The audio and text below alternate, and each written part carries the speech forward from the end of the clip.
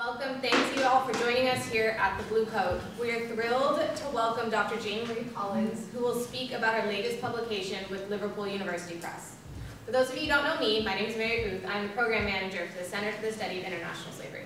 So tonight, Dr. Collins will discuss her book, Emancipatory Narratives and Enslaved Motherhood, which will be available for purchase following her presentation by our friends at LUP. Uh, additionally, if you have any projects you would like to discuss or you want to browse a selection of books in the series, see Ali after the presentation at the table. So this book examines three currents in the historiography of Brazilian slavery, manumission, miscegenation, and creolization. It revisits themes central to the history of slavery and race relations in Brazil. It updates the research about them and revises interpretations of the role of gender and reproduction within them. First, about the preponderance of women and children in manumission. Second, about the association of black female mobility with intimate interracial relations. Third, about the racialized and gendered routes to free status. And fourth, about the legacies of West African female socioeconomic behaviors for modalities of family and freedom in the 19th century in Salvador de Bahia, Brazil. Now, Dr. Collins has been a lecturer in Spanish, Portuguese, and Latin American Studies in the now Department of Modern Languages at the University of Nottingham since 1998. She has taught the histories and cultures of the Lusophone world since then, but her main teaching areas are now Brazilian history and literature. In terms of research and publications, her key research area is slavery in 19th century Bahia, but she has also worked on other themes in 19th and 20th century Brazilian history and culture, including infanticide, race relations, abolitionist literature, and military rule and historical memory in Brazil.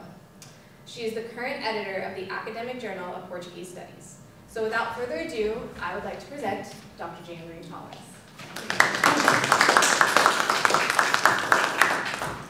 Hello everyone, um, and thank you for taking the time to come along and listen to me today. I know there's lots of things going on in Liverpool, so um, I'm very grateful for you dedicating your time to come here. Uh, thanks are also due to some people who aren't here for making the book and this event possible. The staff at Liverpool University Press, although one of them is here, Ali Lee, I can't thank him enough. I've already thanked him in person, but I'm going to make a public thank you now. And to all the staff at Liverpool University Press and Manini Publishing for their support from start to finish. Thanks also due to staff at the Centre for Study of International Slavery at the Liverpool University, University especially Mary Booth, who's here now, for organising the event. It's a genuine honour, albeit a rather daunting one to be here today, to talk about what feels like a lifetime's work in 45 minutes, during which I hope I can do justice to the subject as much as the book itself. This talk is, by definition, about an academic book, but as this is a public presentation, I've tried to keep academic references to a minimum, and I've avoided entering into any in-depth discussions of academic debates, but if anybody wants to ask about that in more detail in this regard, please do feel free to ask me in the Q&A at the end. So Emancipatory Narratives and Enslaved Motherhood by Ian Brazil covers a complex subject in a time and place a long way from here, although neither slavery nor Brazil are totally unconnected from the history of Liverpool, a port city of a slave trading nation at the edge of the Atlantic world. So by way of introduction to the book and to help us all navigate that journey from here to there, I'll start by explaining how I started out on this project, followed by some samples of historical evidence about enslaved motherhood and what emancipatory, means, emancipatory narratives means as an approach, and some historical context to the subject and themes addressed in emancipatory narratives. And finally, an overview of the contents and main points of argument made in the book. Starting out with how I ended up in Bahia, it was as an undergraduate student at what was then the Institute of Latin American Studies at the University of Liverpool.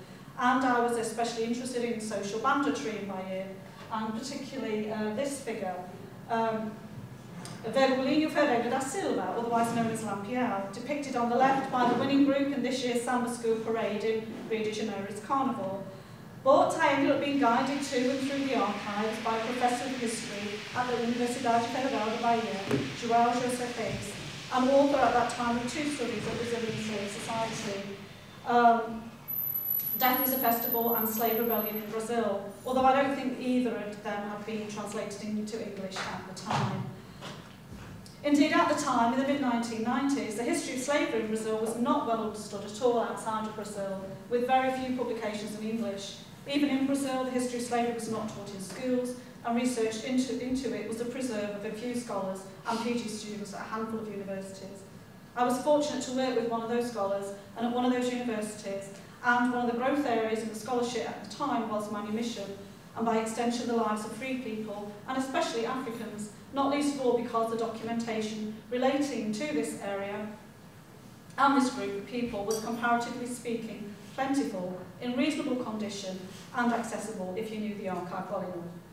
And from looking at a very narrow set of documents for my undergraduate dissertation, mainly labour contracts for hired-out slaves as a route to manumission, I then branched out in my PhD to explore gender and slave resistance more broadly. When it came to publishing the thesis, the focus on enslaved motherhood was a result of conclusions I reached about the shortcomings of the PhD rather than conclusions I'd arrived at in it, namely that the ways enslaved women resisted their enslavement and strategized for freedom was shaped by experiences of enslaved motherhood. What the historical significance of these gender-specific imperatives could not be accounted for using thinking tools and approaches from the field of slave resistance studies alone. In sum, emancipatory narratives is the result of decades spent scrutinising sorry, scrutinising the archival documents pertaining to the lives of African women and their descendants in slavery and in freedom, and for the most part asking the same questions about how they navigated between one condition to the other, why they failed and how they succeeded. For some insights into the kind of evidence that prompted this focus on enslaved motherhood, I'll start off with two examples from the first part of the book, the freedom suits of Edeltrudis and Elisiaria. Emancipatory Narratives opens with the 1870 Freedom Suit, a lawsuit by which, by which the enslaved made legal claims to freedom of Edeltrudis, the daughter of an African woman who came to be known as Teresa in Brazil. Teresa probably arrived in Brazil as a captive during the era of what is known as the illegal phase of the transatlantic slave trade in Brazil in the 1830s and 40s, and had been trafficked into the diamond mining regions in the interior of Bahia in the northeast of Brazil. To a boom town, now called Mucugê, at the centre of the discovery and then expansion of this highly profitable industry that attracted traders and agents from European commercial houses in London, Paris and Amsterdam. Like every other enslaved African and their descendants born into slavery in the Americas, Teresa did not want to live and die in captivity, and she wanted nothing less for her children either.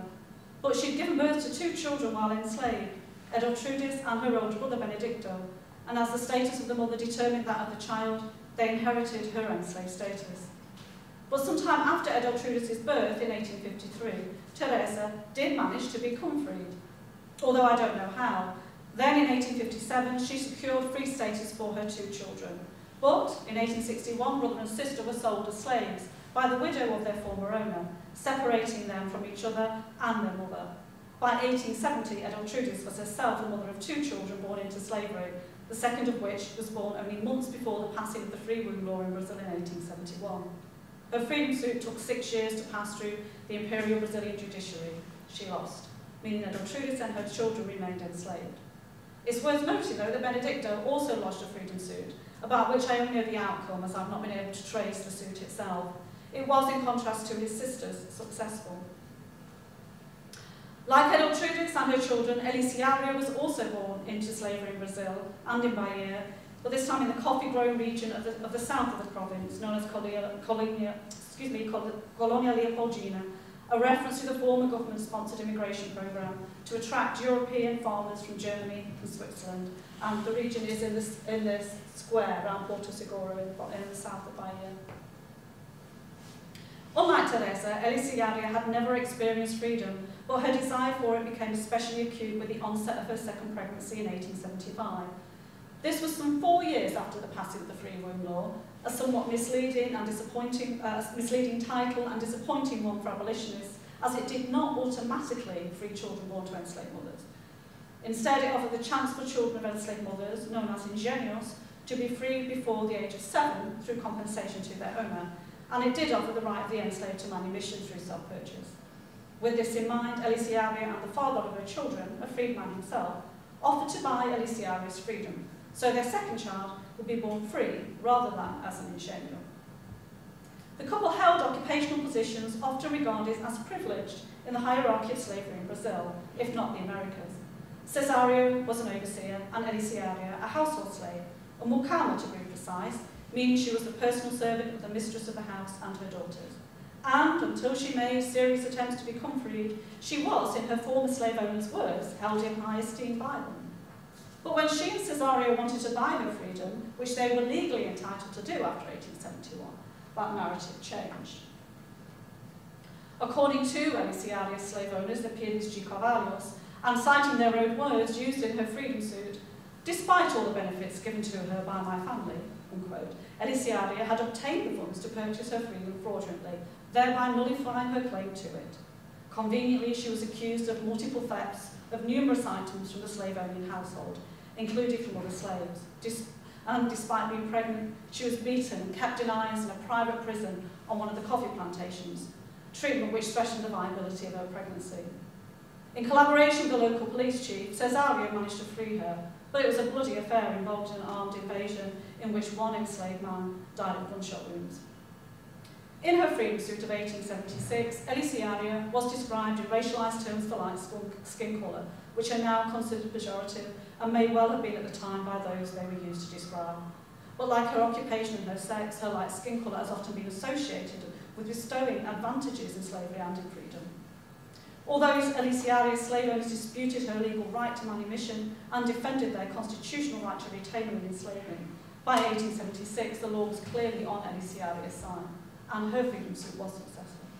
But Elisiaria and Cesario had already had to pay for the freedom of their first child, they also lost their home and positions. The financial costs for of freedom were substantial for the enslaved and their families, the emotional ones immeasurable. These are snippets of evidence from a range of primary sources used in emancipatory narratives, and they are sources which are already known about and widely used by scholars in the field. So if for argument's sake we accept that there are only two kinds of history books, those that reveal something completely new about the past and those that present new ways of thinking about the past we already know about, emancipatory narratives falls into the latter category. It is an intervention into debates about race and gender in general and the history of slavery in Brazil, and more specifically about how we speak to the history of manumission and miscegenation in Brazilian history and society. I will attempt in the rest of this talk to demonstrate firstly why that is important and necessary, and secondly explain how I went about, went about doing it. Brazil was one of the largest slave societies in the Americas. Around 40% of the 10 to 12 million Africans made captive in the transatlantic slave trade were disembarked in Brazil. It took, it took two acts of legislation to end the slave trade to Brazil in 1831 and 1850. And Brazil was the last nation in the Americas to abolish slavery in 1888. Emancipatory narratives is set within this time frame also known as the imperial period in Brazilian history, and located in terms of place in the northeastern province of Bahia and its capital, the Atlantic port city of Salvador de Bahia, the first and former colonial capital of Portuguese America, as well as one of the two major slave trading ports of the sugar-producing northeastern region of Brazil. Slave-produced cane sugar constituted the first major economic cycle of colonial Brazil, It was sugar that made the Portuguese colonial enterprise in Brazil so profitable for the Portuguese crown and made Brazil the main supplier of sugar on world markets for the best part of two centuries, the 16th and 17th. By the 19th century, it was coffee-producing regions of Rio de Janeiro, Sao Paulo, Minas Gerais in the southeast that propelled the transatlantic slave trade to Brazil.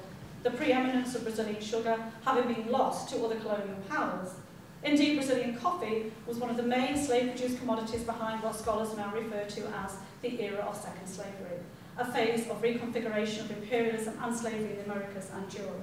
The period post the Revolutionary Wars of the late 18th century, of the late 18th century US and Haiti, and the legal cessation of the transatlantic slave trade across Anglophone North America and the Caribbean after 1807. Namely, after one of the major players in the transatlantic slave trade had formally abolished the trade, Britain. This was the same year that Britain provided the naval protection for the transfer of the Portuguese royal court to Brazil under the threat of, of a Napoleonic invasion, a condition of which was an agreement on the part of the Portuguese crown to commit to ending the slave trade, which did not come to pass legislatively until 1831, by which time Brazil had gained its independence from Portugal, again underwritten financially by British banks and negotiated diplomatically by the British government.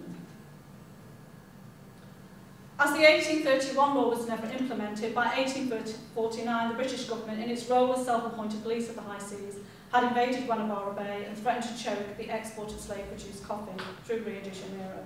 Consequently, the transatlantic slave trade was finally abolished in 1850. As we've seen, the next piece of anti-slavery legislation came some two decades later in 1881, so, excuse me, 1871, in the form of the Free Womb Law. Another two more decades later, slavery was finally abolished in 1888, followed swiftly by the fall of the monarchy. Both the status of Brazil as the longest lasting slave society in the Americas and the prolonged role of Brazil in the transatlantic slave trade make Brazil stand out in the history of slavery in the Americas.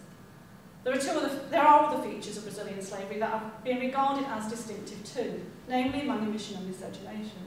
While not unique to Brazil, these societal expressions of slavery were articulated differently, demographically and discursively, both in the era of slavery and beyond in Brazil, in comparison to other regions in the Americas, most notably to the US, the region to which Brazil has most frequently been compared in the study of slavery and race relations. In contrast to the US, there were no laws against manumission in Brazil, nor were there any anti-miscegenation or racial segregation laws pre or post-abolition either. Hence, by the end of the 18th century, the fastest growing sector of the population, some of the oldest slaveholding regions in Brazil, was free people of colour. The majority were, like Elisiaria, of mixed racial heritage, African, European and indigenous descent. Many were also sons and daughters of free parents, that is, formerly enslaved Africans or Brazilians, and had been born into freedom. A minority were formerly enslaved, manumitted Africans and Brazilians, like Teresa, Cesario and Benedicto. Estimates, and they are just estimates, indicate that around 1 or 2% of the enslaved in Brazil acquired their freedom through manumission. As a major statesman, abolitionists insisted, even in the late 19th century, the freed were indeed exceptions in Brazil. In general, the majority of the freed were women and children, although the majority of the enslaved were male. In addition, the enslaved who were racialized as mixed race were overrepresented among the freed in relation to their number among the enslaved. But there were some important regional variations. In Salvador, estimates for 1835 indicate that around 7% of Africans were freed, in a city where free and free people of colour were, were, who were Brazilian represented almost a quarter of the population. And in general, it's accepted that the size of the free population, by implication, implication chances for manumission, were greater in towns and cities than in rural areas. Both the comparative demographic prominence of free people of colour and greater opportunities for manumission in Brazil gave rise to notions of slavery in Brazil as benign and race relations as harmonious, otherwise known as racial democracy. Thus, the historical narratives of race and gender emanating from manumission and miscegenation have been mobilised distinctively in Brazil, in both the popular imaginary and academic and scholarship. In the first half of the 20th century, the mixed-race woman, otherwise known as the mulata, the term that was used to describe Alicia, or at least one of the terms that was used to describe Alicia racially, became a marker of Brazilian cultural identity in literature, cinema, theatre, popular music, TV drama, advertising, tourism, everything. This elevation of miscegenation as a racial idea through the myth of racial democracy was from the 1930s onwards propagandized through the work of Gilberto Freyre. In the mid-20th century, social sciences challenged the empirical validity and accuracy of claims about racial democracy in Brazil. Later, and especially after the end of military rule in the 18, 1980s, sorry, scholars began to critique the history of race and slavery and scrutinise the archive more closely. The documentary evidence historians uncovered discredited conclusively the notion of slavery in Brazil as benign. Historiographically, the mythical version of race and slavery in Brazil has been discredited. However, there remained what appeared to me at least a disjunction between how on the one hand historiographical debates about slavery had shifted towards more slave-centred and revisionist approaches, While debates about the two key features of Brazilian slave society, manumission and miscegenation, struggle to shake off some of the more traditional modes of thinking about black female mobility. In particular, there remains an underlying tendency in manumission studies to attribute differential outcomes in manumission to slave owner preferences around race and gender, which makes sense if manumission is viewed solely as a form of slave owner control without regard to imperatives for emancipation from the enslaved themselves. And what I mean by these different outcomes is sort of summarised here on, on this slide. So, for example, Africans were regarded as, as having been penalised by being more likely to have to pay for their manumission. Crioulas, that's the term used for first generation, uh, black Brazilian women with African parents, so not um, of mixed race background, were more likely to be freed conditionally because they were looked on more favourably by the slave owners. And similarly, mixed race women and children have been regarded as having the easiest route to manumission because they were the least likely to purchase it. Was evidence about the lives of women like Teresa Edeltrudis and Alicia that prompted me and then compelled me to seek out alternative approaches to manumission and miscegenation three ways. To rethink narratives of women and children in manumission, and rather than just produce more evidence about experiences of manumission, which we have in plentiful, in emancipatory narratives, I reconceptualise manumission of women and children as a form of emancipatory activism, which by the 19th century shaped abolitionist praxis, thus awarding a political significance to their actions. I also wanted to rethink black female strategies for freedom through the lens of reproductive slavery, which hasn't been done today. And that includes, but it's not limited to, reproductive violence, maternal dispossession and forced kinlessness, and thereby foregrounding enslaved imperatives for emancipation through gender differentiated experience of enslavement. And as an extension of both points, I wanted to rethink black female socio-economic behaviours in freedom through a comparative historical approach to key aspects of black women's lives, reproduction, accumulation and household formation, to better understand the implications of these experiences for these, uh, their own women's understandings of freedom and slavery.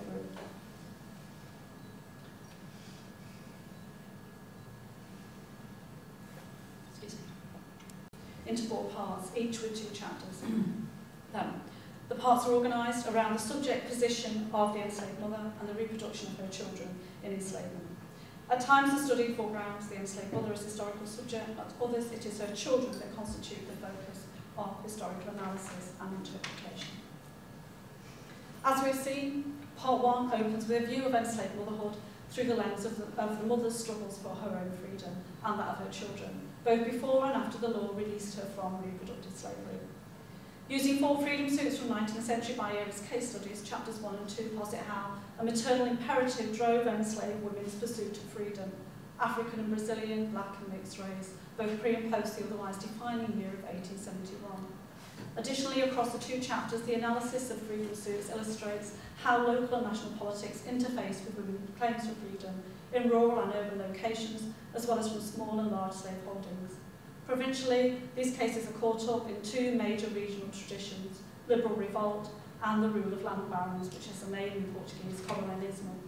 Historically, they are also linked to illegal slave trading, both pre and post 1850, international and domestic, and legislatively they speak to change in jurisprudence on the rights of slave owners in the second half of the 19th century.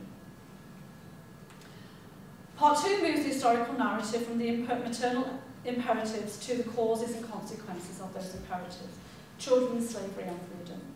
Chapter 3 reviews the literature and data on children in the slave trade to Brazil and slavery in Brazil, and in slavery in Brazil. But in the interest in time, I'm just going to cover the slave trade here because there's, there's, there's a consensus really about the figures for uh, children in, in Brazil. When looking at global figures for the trade, the majority of Africans made captive were male and But closer scrutiny of the slave trade databases has revealed more, has, has revealed important variations, especially after 1807. That's the era of second slavery. In the first two decades after the British and US withdrawal from the trade and the transfer of the royal court to Brazil, Brazilian trade in South Africans more than doubled. The number of African men made captive increased by 62% and women by 155%, while the numbers of African children trafficked increased by staggering 203%. Although the number of African boys always exceeded um, always exceeded that of African girls, According to two database experts, the most dramatic change to any category of Africans in the 19th century trade was, quote, the increase in girls. Thus, the role of reproductive slavery became critical to the trade under threat, and especially to Brazilian slavery. So as we can see in this slide, that, uh, from data and evidence from the illegal period that focus of this book, the proportions of African children trafficked remained high throughout the illegal phase too. So what we've moved from is a quite a low base layer that was sort of established about late 18th century by uh, one particular database scholar, Herbert Klein, uh, that set it about 1 to 10% in terms of children. Um, and that became accepted sort of as a standard figure, but it was only when we got more information about the slave trade, it was quite recently, particularly about Brazil, that we realised there was a lot more children involved in, in the 19th century. Given the wider geopolitical dyna uh, dynamic shape of Brazilian slavery, um, in part two of the book, uh, it reviews Britain's role in anti-slave politics in Brazil during the era of second slavery generally, and the illegal phase of the trade more specifically, the 1830s and 40s. Chapter 3 presents analysis of discursive components of two key contemporary debates in 19th century British politics, which Seymour Drescher coined the two emancipations of child labour at home and slavery abroad, specifically the British Caribbean. These debates did not just run parallel in British politics, instead they competed for a similar semantic um, emancipatory terrain and proponents on both sides mined the same moral rhetorical scene of slavery and child labour in their attempts to gain political leverage, as we can see in these two images. One of the key campaigns of the child labour movement in the 1830s indeed was called Slavery in Yorkshire, and yet the object of diplomatic anti-slave trade politics, the slave trade to Brazil, remained beyond the scope of British abolitionist activism, and in an era when the levels of African children in the trade reached an all-time high. With the wider context of the, these debates in mind, historical comparison of child labour in 19th century England and Brazil highlights the following features. First, that child labour, as it was in the 19th at that time in the 19th century free enslaved societies, were broadly similar in terms of tasks and time spent labouring. Second, that the levels of infant and childhood mortality among the poor in both regions were similar around 300 to 100,000, sorry, 300 per 100,000, although we, don't have equivalent data in both. However, family sizes were not, and free women in industrial urban towns and cities continued to reproduce large families, whereas enslaved and free women in Brazilian towns and cities did not. This confirms, as W. Du Bois stated emphatically in the 1930s, that, quote, no matter how degraded the factory hand, is not real estate. Placed in the comparative context of 19th century labour regimes of non-elites, even if the arduousness of the labour was similar, the extent of personal autonomy of free and enslaved labourers was not.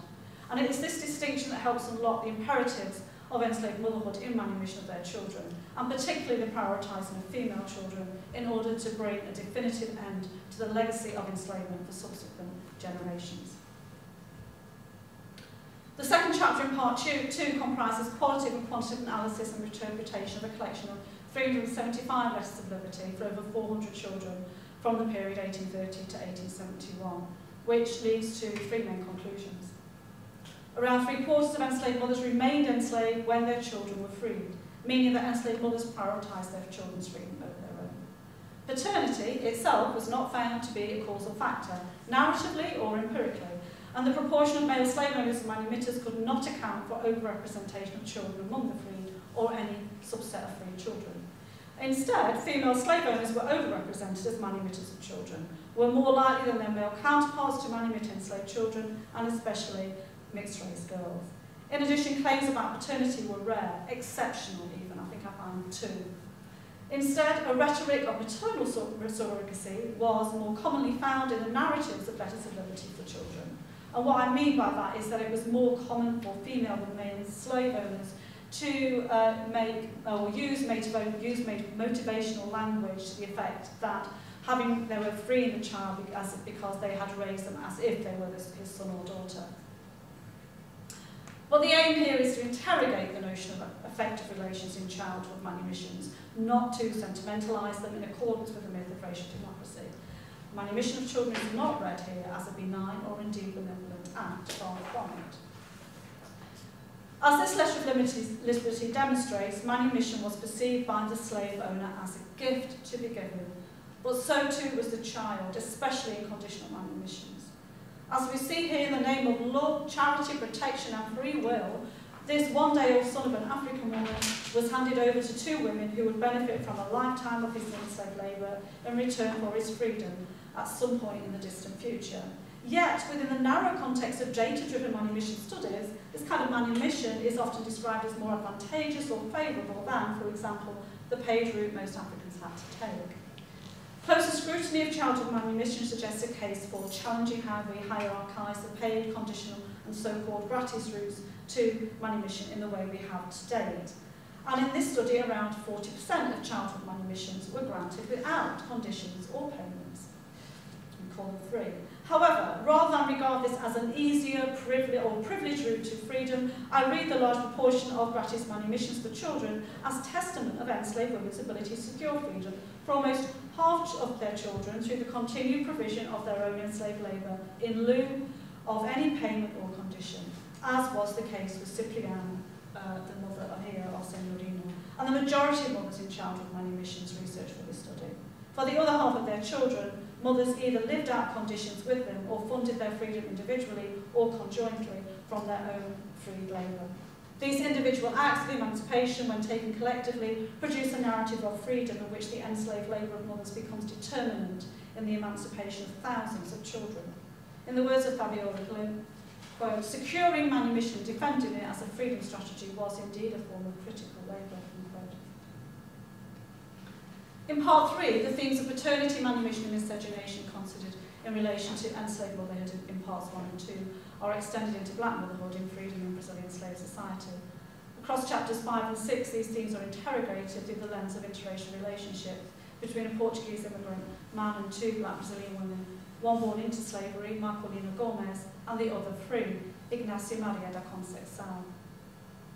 These two cases draw attention to the problematical and unresolved task of determining stable terms that describe these relationships the inadequacy of language in Portuguese and English to capture the inequalities and injustices, racial and reproductive, inherent to these relationships is indicative of the ongoing ontological and existential crisis induced by reckoning with the history of slavery and the myth of racial democracy in Brazil.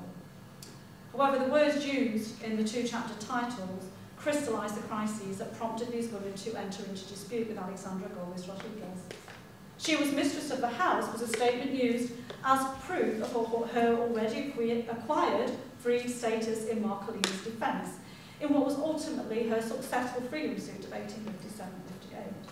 The assertion associated Marcolina's position in Alexandra's household and his personal life with a feminised social uh, status and behavioural norms at odds with his claims to her as his property and his accusations of her sexual promiscuity.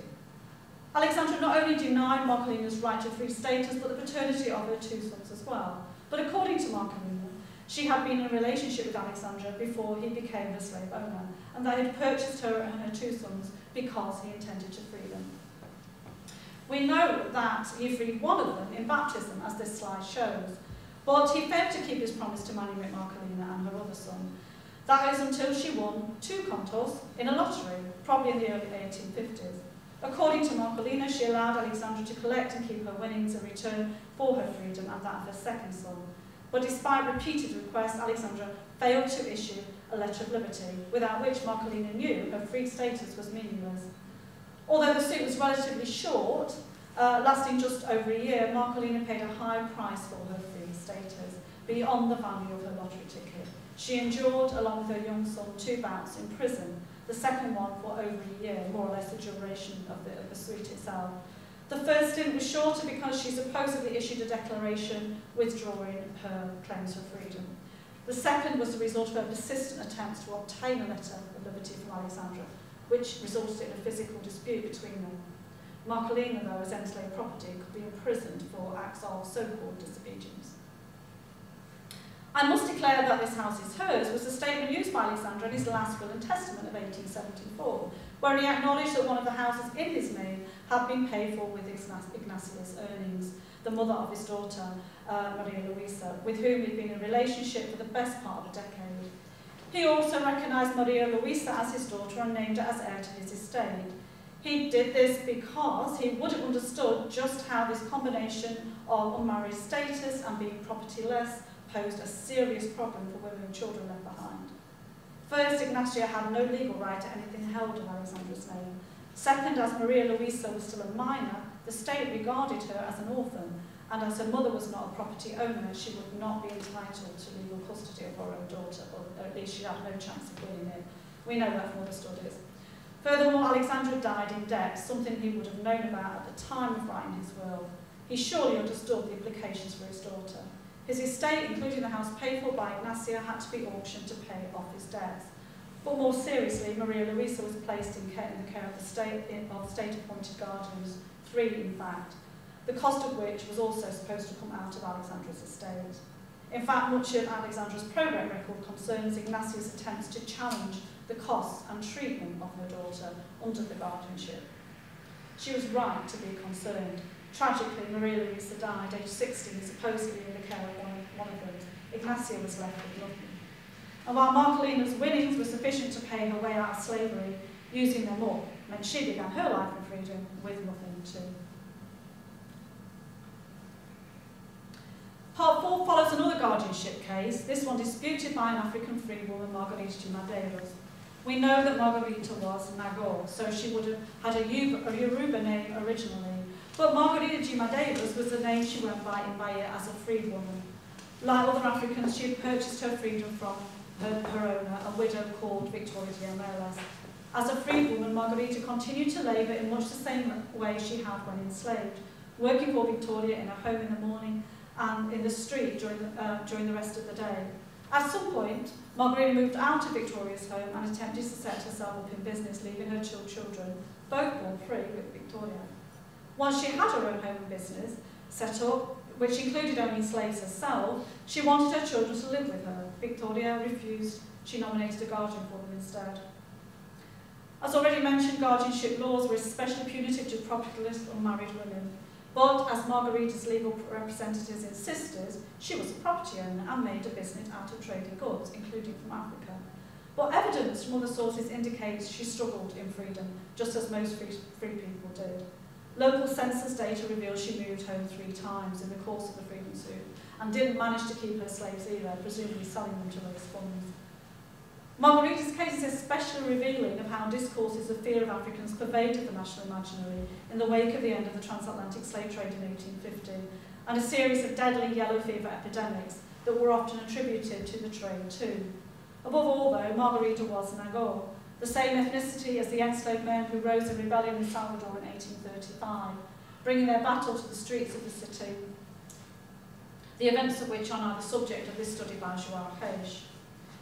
It is not in the least surprising then that the case against Margarita re relied on the demonisation of Africans, similar to the cases against those Africans tried in 1835. Indeed, Victoria had Margarita arrested on the basis that she was involved in African cults, associated with suspected, uh, associated with suspected revolts. The police must have thought differently as she was never charged. All the same, the damage was done to Margarita's reputation as an African freedwoman. But the case against her went beyond that and exposed a fear of African motherhood more specifically. It was a fear that African mothers could not be trusted to raise Brazil's own citizens. A fear that children raised by African mothers would fashion an identity out of their ties to their African past, not their Brazilian future. As the title of the chapter indicates, and it's a quote from uh, Victoria's um, defence lawyers, Africans as non-citizens, even as freed men and women, could not be trusted in this role, especially not Nagôs, who had a tradition of rebellion in 19th century Bahia. Put another way, this statement was not meant as a compliment, and it could be translated alternatively as they were thick as thieves. In addition, the evidence about the lives of Victoria um, and Non Giornales and Margarita de provide insights into each woman's respective socio-economic group. Victoria was a reasonably wealthy widow and sole mother of an illegitimate daughter, meaning the father of the child was a married man. In her will and testament, we learn that she was a property owner of three houses and eight slaves, and her daughter was the sole heir. With the findings of analysis of childhood manumissions in mind, Victoria's will and testaments also gives additional insights into female slave ownership and manumission. Like the majority of, of uh, female slave owners, Victoria invested in enslaved women rather than men.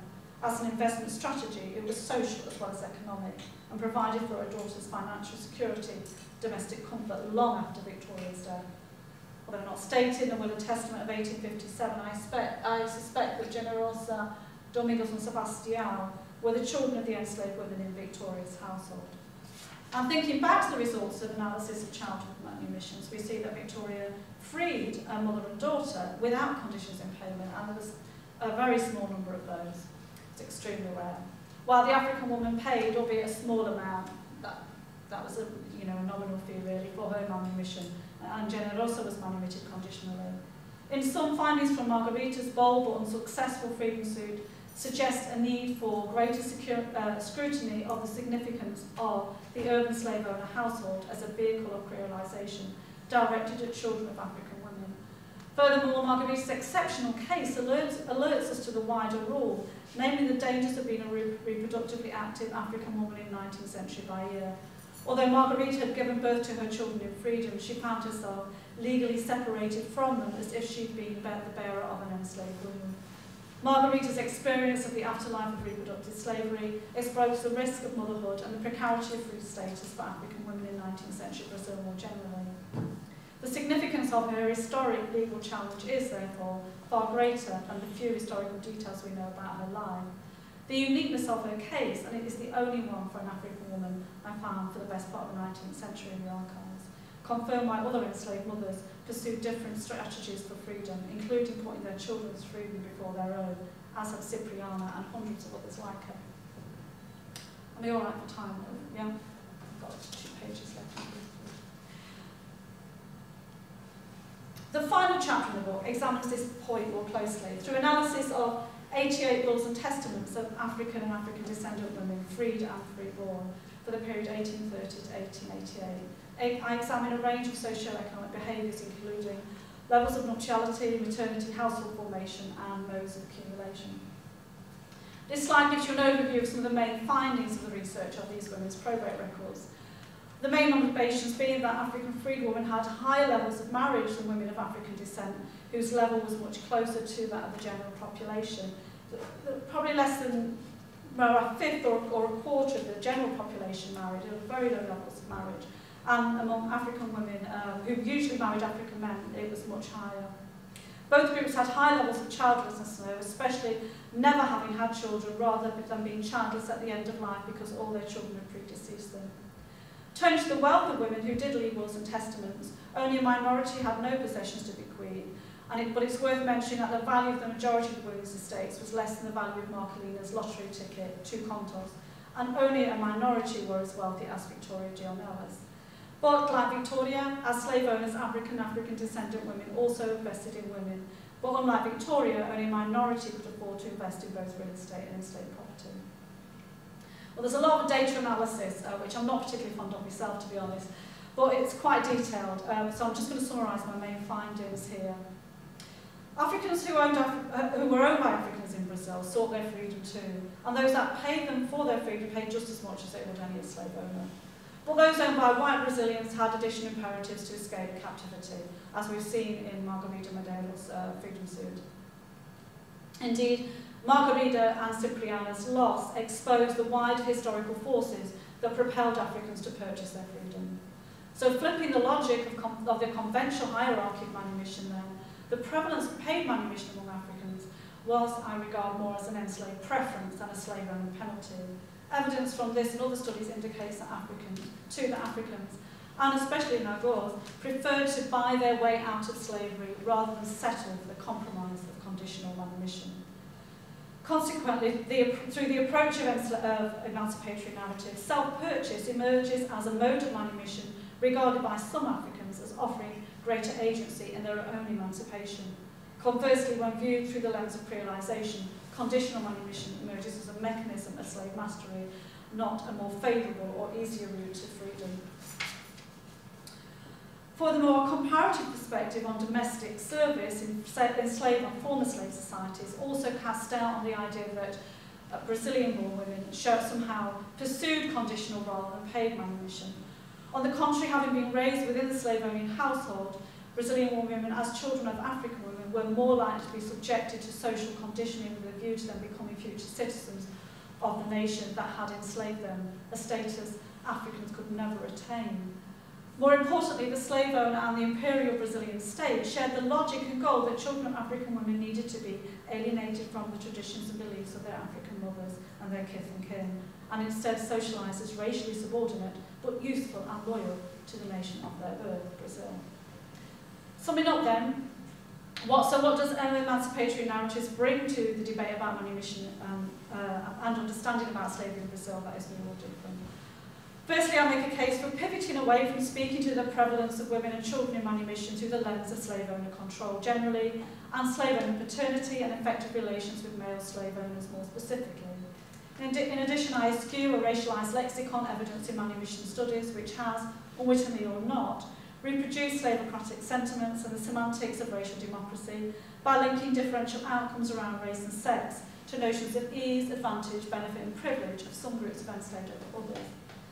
Second, in emancipatory narratives, the gendered and racialised praxis of the manumission of women and children is regarded as a response to the reality of reproductive violence in slavery in the pursuit of reproductive justice and freedom, rather than the relative benefits and advantages of females over males, children over adults, Brazilians over Africans, and light skin colour over blackness. Seen from this perspective, the demographic disproportionality of women and their children in manumission and freedom suits can be read as a refusal of reproductive slavery, acts of emancipatory activism that not only predated anti-slavery legislation and the abolitionist movement in Brazil, but which by the 19th century shaped anti-slavery sentiment and abolitionist practices.